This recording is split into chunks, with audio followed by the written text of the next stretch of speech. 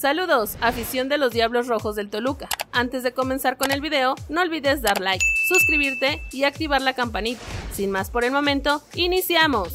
Toluca versus Cruz Azul, donde y cuando ver el partido de la jornada 6, una máquina urgida de puntos visita a los Diablos en la jornada dominical de la Liga MX. Para cerrar la jornada 6 del Clausura 2023, Toluca recibirá en casa al Cruz Azul, un duelo en donde las dos instituciones buscan sumar de a 3, sobre todo la máquina, quien ha empezado con un empate y tres derrotas el torneo, ubicándose en la posición 17 general. Por la parte de los Diablos Rojos, su inicio también ha sido complicado, pues suman tres empates, una victoria apenas y una derrota, lo que los posiciona en la décima posición de la tabla. Sin embargo, en casa buscarán conseguir su segunda victoria del clausura. El estratega mexicano, Raúl El Potro Gutiérrez, se estará jugando su permanencia en el plantel, pues luego de este trágico inicio de perder un nuevo duelo, la directiva celeste estaría tomando la decisión de terminar su relación con él. Cabe mencionar que, en el Apertura 2022, es decir, en la campaña pasada, el juego terminó 2 a 3 a favor del Toluca, quien participó como visitante en esa ocasión. ¿Dónde y a qué hora ver el juego. Fecha, domingo 12 de febrero. Horario, 12 tiempo del centro de México. Transmisión, canal de las estrellas y TUDN. La situación que vive Cruz Azul con la falta de resultados no es una ventaja para los Diablos Rojos del Toluca. Así lo visualizó Marcel Ruiz, que además resaltó que cuando un equipo vive una etapa adversa se vuelve doblemente peligroso. De acuerdo al rival, se espera que se registre otro lleno total en las gradas del estadio Nemesio 10, ya que además se realizará una celebración especial por el 106 aniversario de vida del Deportivo Toluca. Los Diablos toman sus precauciones, sumado a que también tienen urgencia de sumar un triunfo en casa, tras sufrir su segunda derrota del campeonato en la visita a los Rayados de Monterrey. No creo que sea una ventaja, estuve en esa situación en Tijuana hace unos años donde llegabas a jugarte todo en un partido. Muchas veces tienes estas malas rachas, como ahora están ellos, y no sé si debe a un mal funcionamiento o a detalles que te van mermando que te llevan a una racha negativa, pero puede llegar a ser más peligrosos. El hecho que, si están en esta situación, de destituir al técnico si es así se pueden jugar la vida, los hace más peligrosos porque no tienen nada que perder, analizó el jugador de los Diablos. La realidad es que el conjunto que dirige Ignacio Ambriz tiene sus propias preocupaciones, como la falta de contundencia que ha mermado la obtención de resultados.